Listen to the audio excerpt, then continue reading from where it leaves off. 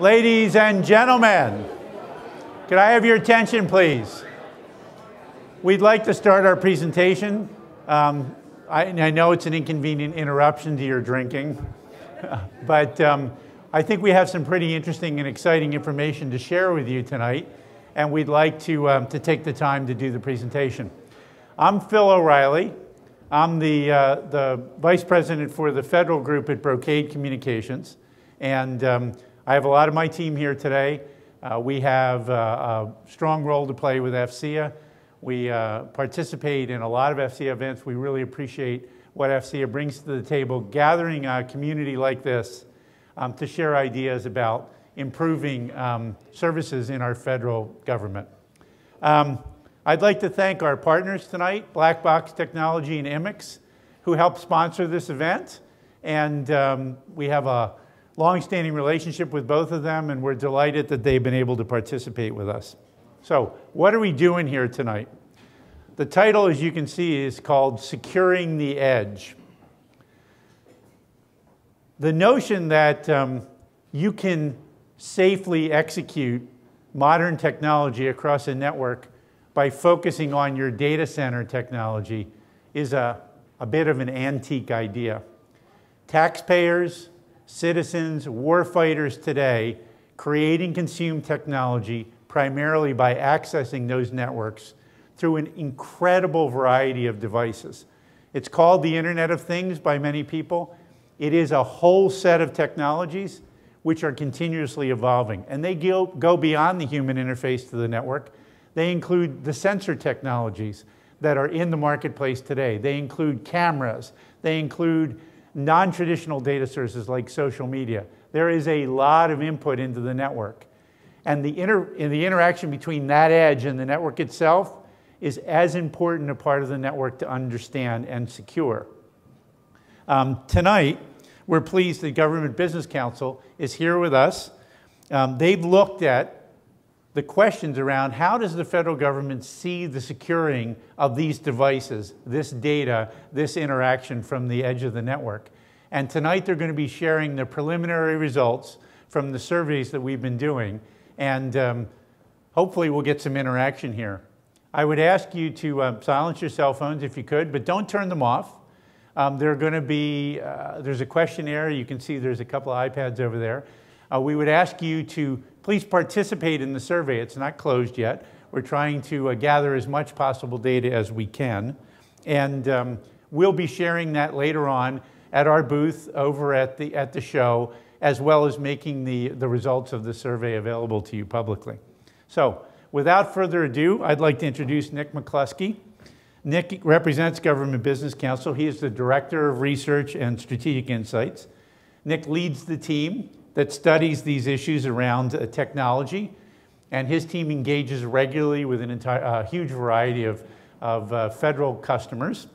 Um, he's dedicated to finding out how these topics affect all of us and the services that we consume and use from the gov federal government. So, Nick, without further ado, I'll turn it over to you. Thank you, Phil.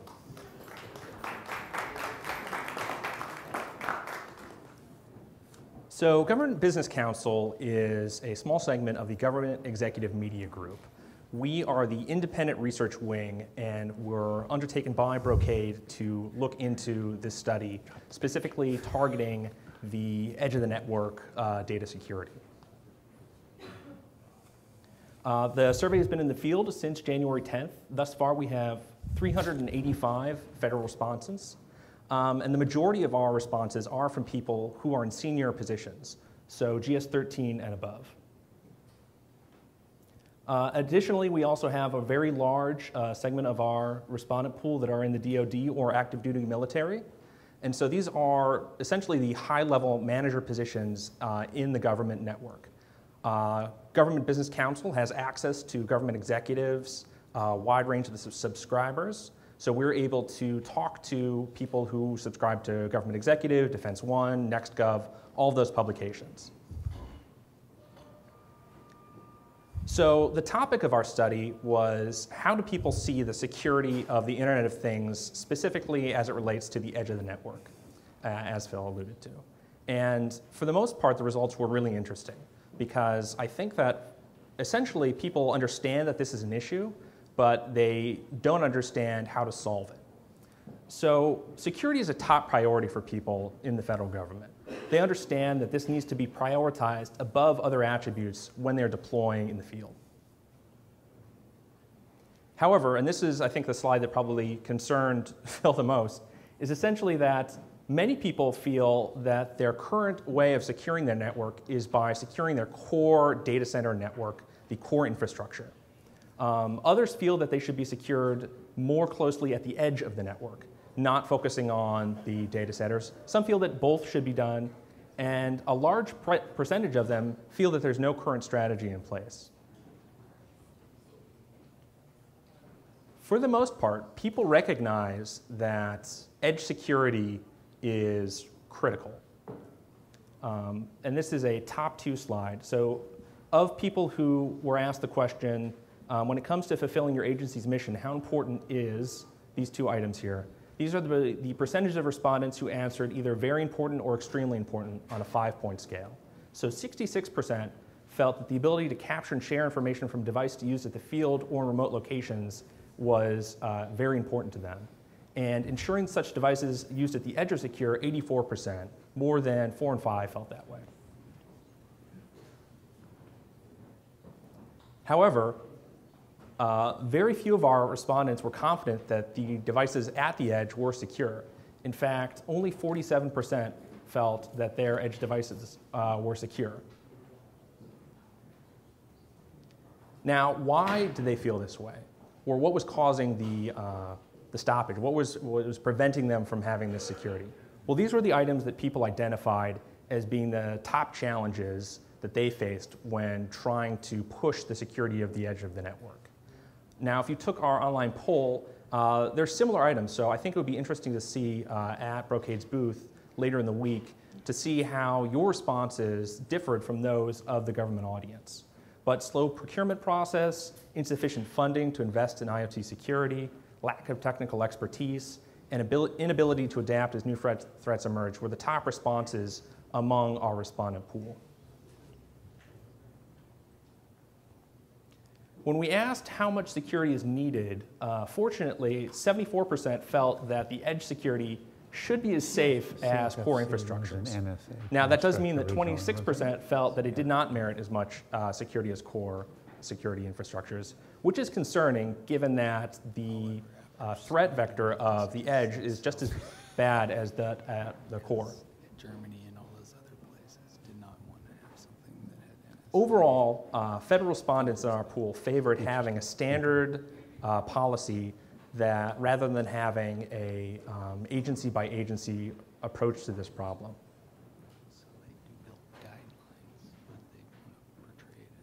So this is the very minor interactive portion. So how many people in the room are familiar with the Commercial Solutions for Classified program?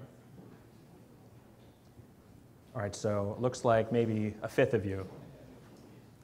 So the majority of our audience is unfamiliar uh, with the CSFC, um, which is concerning because a lot of what the CSFC does is address the very problems that are being brought up by this edge security issue. So we also asked respondents, well, if you're unfamiliar with the CSFC, um, what about these different attributes of the CSFC? Um, what about uh, more rapid deployment of automated security updates and vulnerability patches? Or protecting the most sensitive data with a government designed system um, while allowing for less important or less sensitive data to be secured with a commercial system. Well, they strongly favored those approaches, which is essentially what the CSFC does. So I'll turn it over to Phil again to talk a little bit more about the CSFC um, and how it can help uh, government contractors and government uh, uh, agencies better secure their network. Thanks, Nick. Appreciate it. You know, I've been in this business a long time, 40 plus years. And I think what you see here tonight is indicative of a problem that we have in the government. It's this notion that if it's not created by the government, it's not a usable solution. So we have a clearly identified problem, a very broad consensus on the solution, and we have a solution in place that through true lack of ignorance is not readily deployed in the marketplace. CSFC was a construct created by the NSA. It's a layered approach to allowing commercial, commercially available technology to be applied to solve security problems, particularly with regard to edge access. There are a set of criteria. There's a set of technologies that are identified and approved to do this. This is obviously not for the highest level security, but it represents a very clear intermediate opportunity to solve some of these problems around securing the Internet of Things while we're working on the actual edge technology and embedding security into it. Um, this is not a problem that Brocade necessarily has a unique solution. In fact, almost every player in the marketplace has an offering which can be com uh, compliant and be deployed against the CSFC layered approach. So our goal here tonight was try to expose you to an opportunity to rapidly and safely consider technologies that exist in the marketplace to solve real problems that we have today. We have a lot of government people here today. We have a lot of technologists here today. Isn't it kind of remarkable when you look at these slides to realize how few people understand this program exists, this opportunity exists? It's been in the marketplace for nearly six years. And it's really been poorly adopted, poorly understood by the government community. So part of our goal here tonight was to expose you to this and also expose you to the issues associated with the edge and the growing problem of security and access and the fact that right now we see those as mutually incompatible aspects of networks. I'll tell you a story. Um, I, my mother-in-law lives with me. She's 82 years old, right? Um, she lives in the basement of her house. That's not a comment on my mother-in-law. she came up to dinner a couple of months ago, and she sat at the table and she said, man, the Social Security website sucks. It's really slow and it's hard to fill out forms and stuff like that. Understand what you just heard. You heard an 82 year old woman complaining about web access. We think of this as a millennials problem. It is not a problem of millennials. This is a problem that is basically across the entire spectrum of people that consume technology from the federal government. And the expectation that's been created that they're going to have an Amazon Web Services like experience through a government website through whatever method they choose to interact. If we don't begin the process of securing that access and creating a flexible, user-centric, user-friendly environment, ultimately the federal government's going to be left behind. This topic is one that's being explored extensively here and in other AFCEA conferences. It's a topic of discussion across many fora, and I would suggest that you could get involved in them. I would recommend that maybe if you have a chance, stop by our booth over at the West Show. Uh, we have several displays there to show you some very interesting automated security solutions that are built around concepts like CSFC. Um, for those of you that registered, the final report will be sent to you probably in, in sometime in the March timeframe. Okay, and um, we would ask you to keep this conversation going. I'm struck by the Trump, Trump administration's approach to solving problems, technology problems. Instead of making policy statements, they seem very oriented towards taking discrete steps and from those steps implying a policy. I think as a community, we have the opportunity to take uh, advantage of this appetite in this new administration and maybe begin this process of exploring applying technology. I, would, I was going to say 19th century technology to a 21st century problem. In any case, we appreciate your time and your participation tonight. The bar is open, there's food, and we would um, offer you all the opportunity to continue the conversation with many Brocadians who are here tonight. So thank you very much and enjoy your evening.